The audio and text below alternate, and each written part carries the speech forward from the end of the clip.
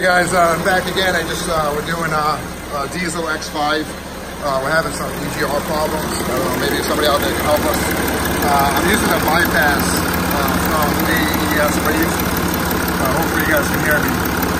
So there's the bypass cable right here, and then it has uh, two leads that come off it. Uh, there's two signals obviously that come with it. We're testing one.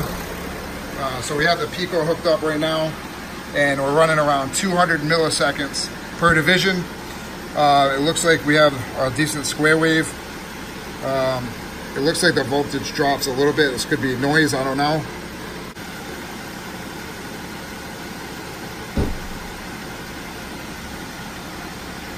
So then uh, we got a service bulletin here. Uh, let's see.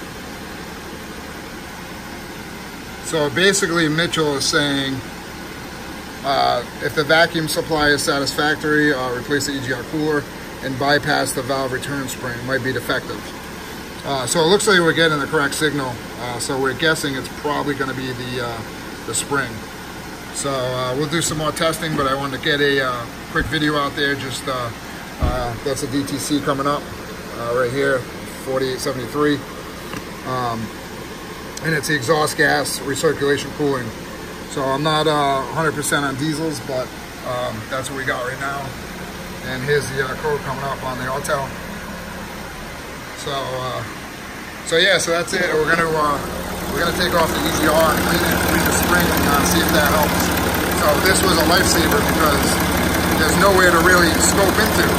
So if we didn't have this breakout lead, we wouldn't have been able to test it right from right from the actual uh, both signals are coming in the same, uh, the return and the primary. So yeah, so uh, that's it. We'll give you an update once uh, once we get going here. Uh, thanks for watching, guys.